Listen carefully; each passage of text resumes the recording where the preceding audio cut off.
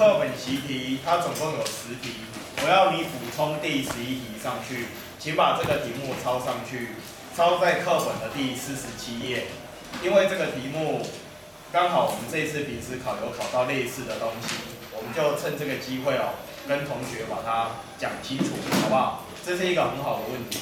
来，你把这个题目写上去，可以吗？在课本的四十七页，它总共有十题嘛，那你就补充第十一题，就这样，就这个题目。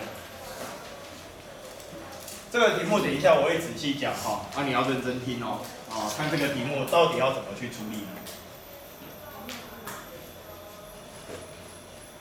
好，写一下哈。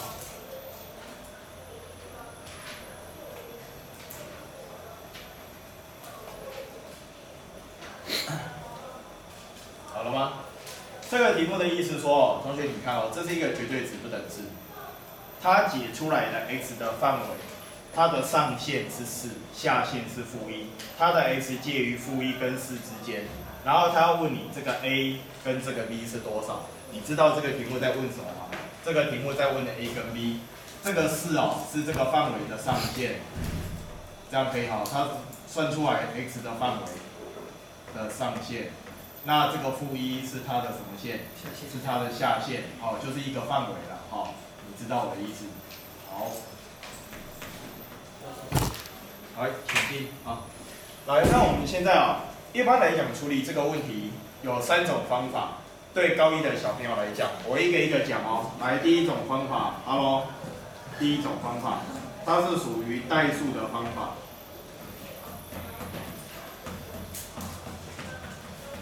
代数的方法，好，第一种，来，你们觉得这个题目应该要怎么做？很简单，把绝对值不等式把它打开，大于在两边，小于在中间，对不对？我们上次是不是讲过？你就把这个东西看成是谁？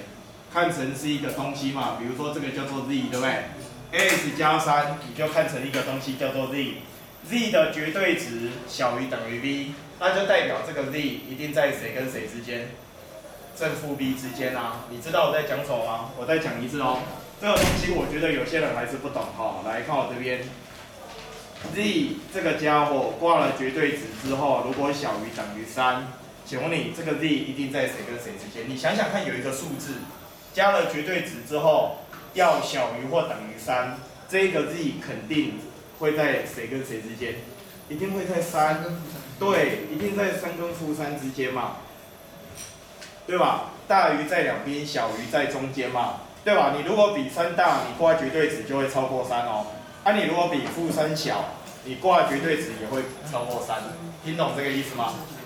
知道我在讲什么，对不对？好，那接下来同学你看哦，所以这个地方很多同学就会把它打开，来打开它就会变这样哦，负 b 来小于等于 ax 加上三。然后小于等于 b，好，来，请问你这个步骤有没有问题？没有问题，这个步骤是对的，你就把它打开，大于在两边，小于在中间，这样可以吗？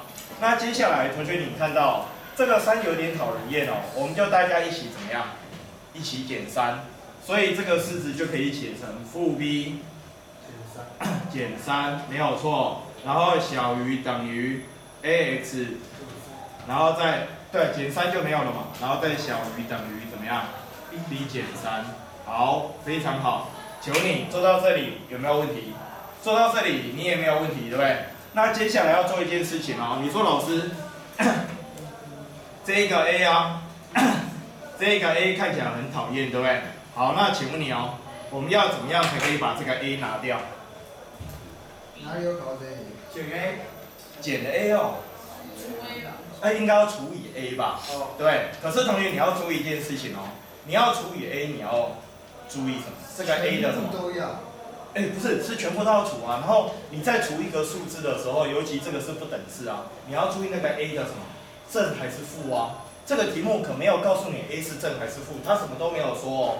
所以这个时候如果你要采这个策略，你接下来就要分类讨论哦。来，第一种情况，好，你仔细听。这种题目哦，我把所有的情况哦都讲给你听哦。来，第一种情况，当这个 a 大于零的时候，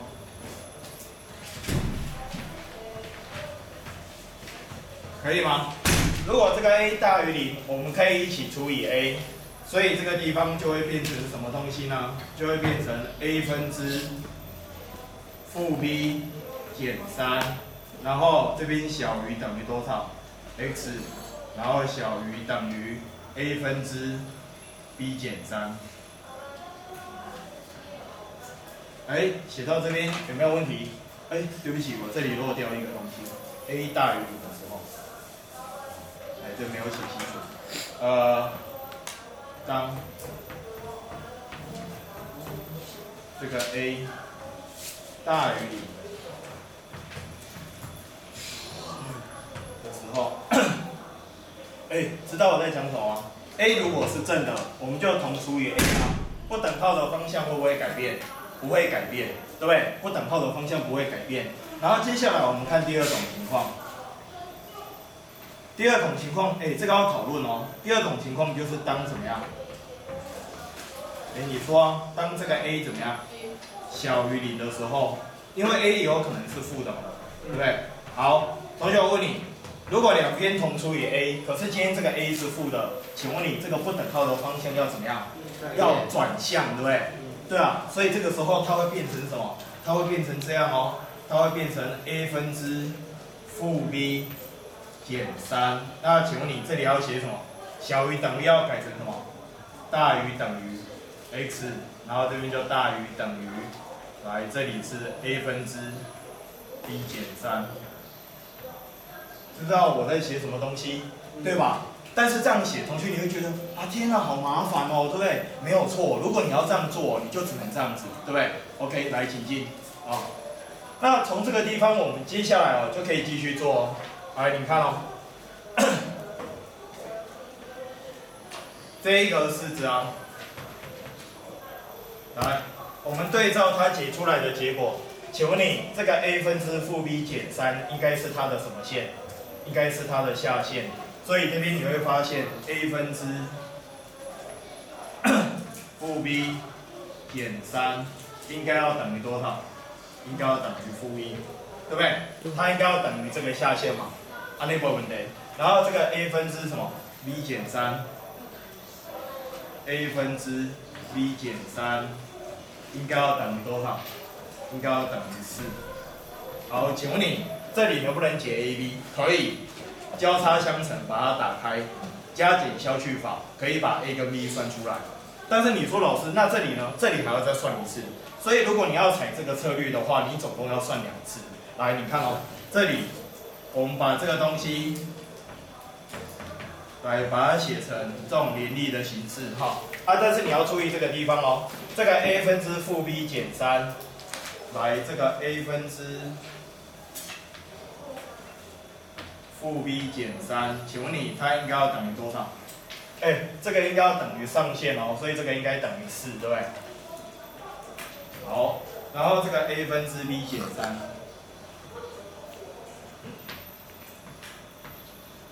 来，请问它应该要等于多少？是不是应该要等于负一？好，我先写到这边，你先看一下，到目前为止有没有什么问题？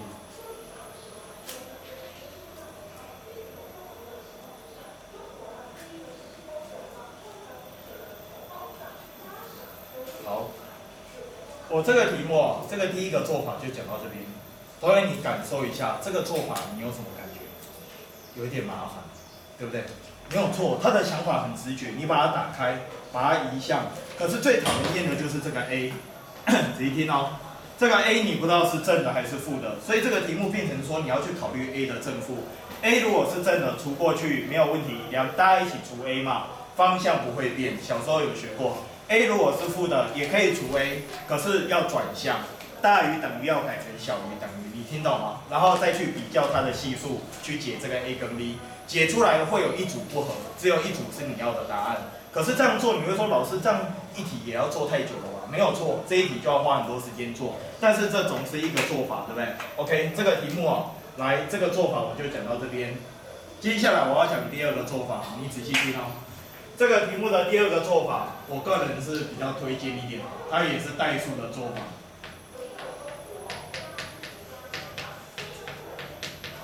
来，代数的做法第二波哦，来，我们看一下哦。可是你要用这个做法，我跟你讲，你要先知道一个很重要的观念。来，请看我这边哦，呃，呃，阿尔法跟贝塔皆怎么样？皆为实数。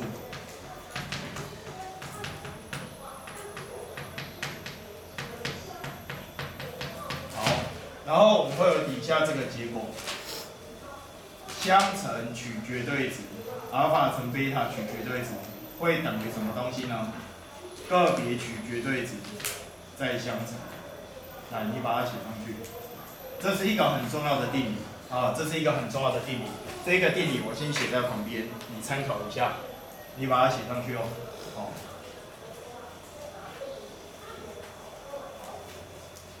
两个实数相乘取绝对值。一定会等于个别取绝对值再相乘，这件事情我没有要你证明，但是这件事情应该是很直观。为什么？来，同学，我问你啊，比如说阿尔法等于一，贝塔等于二，我问你一乘二的绝对值有没有等于一的绝对值乘二的绝对值？有。按理说老师如果一正一负呢，也是对啊，一个一，一个负二，啊一个一，一个负二，啊反正大家都有挂绝对值，你发现哎一正一负也是对的。啊，如果其中有一个是零，哎，那左边是零，右边是零，也是对啊。所以你会发现说，不管你带什么实数进去，这件事情永远都是对的，没有错，这件事情是对的。但是你可能不用会证明，啊，你要知道一下有这个结果，这样可以吗？那你说老师知道这个结果对解这个题目有帮助吗？有啊，对这个题目的解法有帮助哈。来，我把这个题目再抄一次哦。这个题目是这样哈，ax 加三。的绝对值会怎么样？会小于等于一。好，来，大家仔细看哦，看我这边。我现在做一件事情，这件事情你仔细听哦。我能不能把这个 a 拉到绝对值的外面？可以。可以。加正负。不是加正负，拉出来之后它会变这样：a 的绝对值再乘上 x 加上。A 分之三，然后怎么样？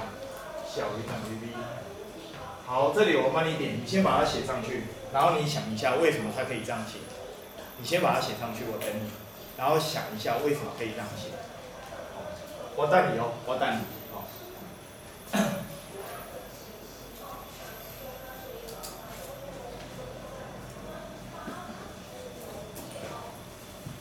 你知道为什么可以这样写吗？来，各位看这边，相乘取绝对值，对不对？来，你看哦，是不是等于个别取绝对值再相乘？你看，个别取绝对值相乘，是不是会等于相乘再取绝对值？你有看到吗？这个 a 乘上它取绝对值，是不是就是它？你知道我在写什么吗？所以我现在跟你讲，你可以把这个 a 从绝对值里面把它拉出去，可是拉出去不是加正负，拉出去是要加什么值？绝对值。啊，为什么拉出去要加绝对值？因为有这件事情，这样可以吗？因为这件事情是对的，所以你可以做这个动作。这样有没有问题？没有问题。那没有问题的话，所有同学看我这边哦。请问你 a 的绝对值是正的还是负的？一定是正的啊，绝对值不可能是负的嘛。所以这个时候你就可以把这个 a 的绝对值怎么样除过去嘛？大家都同时除以 a 的绝对值，这个式子就可以写成 x 加上来 a 分之三。的绝对值会小于等于什么东西？a 的绝对值分之什么？分之 b，知道吗？我跟你讲哦，这样做是可以的哦，对吧？这样没有问题啊，哦，这样没有问题，因为 a 的绝对值基本上不可能是负的啊，啊 a 也不是零啊，所以这个家伙一定是正的，两边同除以 a 的绝对值，OK OK，没问题。好，那接下来你说老师那怎么办？哎，我们把这个绝对值打开，大于在两边，小于在中间。